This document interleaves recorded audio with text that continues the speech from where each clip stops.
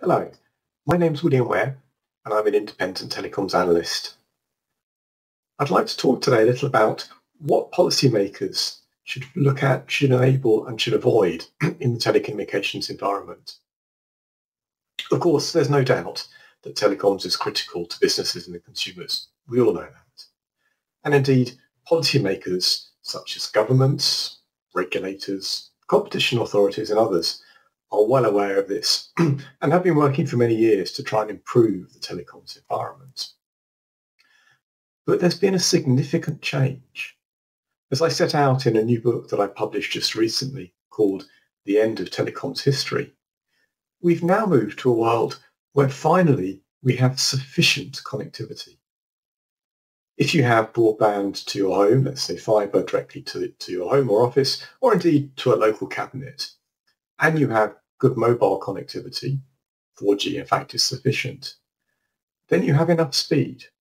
In fact, going any faster than those kind of technologies is pointless because for almost every application, you'll be limited not by the speed of the access network, but by the speed of the internet and the far-end servers and so on. and in fact, speeds of about 50 megabits to the home and about 10 megabits to the mobile are all that we need. Going any faster provides no discernible benefit. Not only do we have enough speed, we have enough data capacity. Go back 10 years and data growth was in the region of 50% every year, but it's slowed substantially. It's now below 20% on mobile networks and below 10% a year on fixed networks, and it's slowing continuously.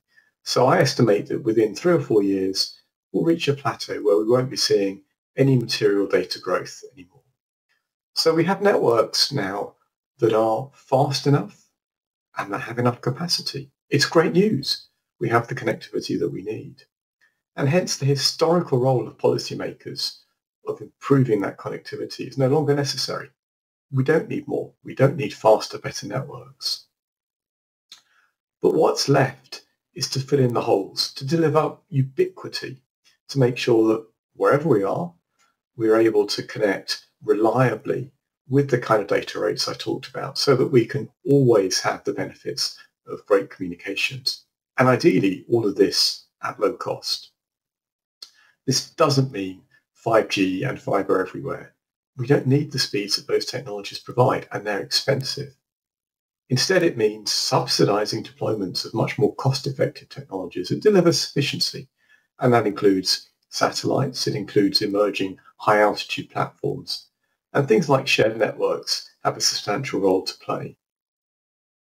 So to sum up, what should policymakers avoid? Well, they should avoid fighting the last battle.